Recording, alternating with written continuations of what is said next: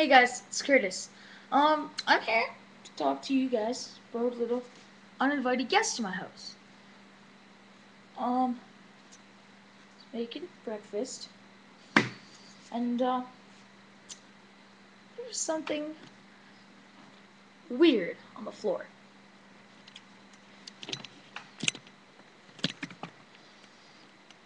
See that little container there?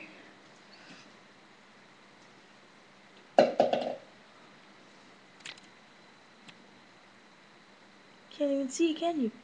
You can't. Look. That's nasty. Right there.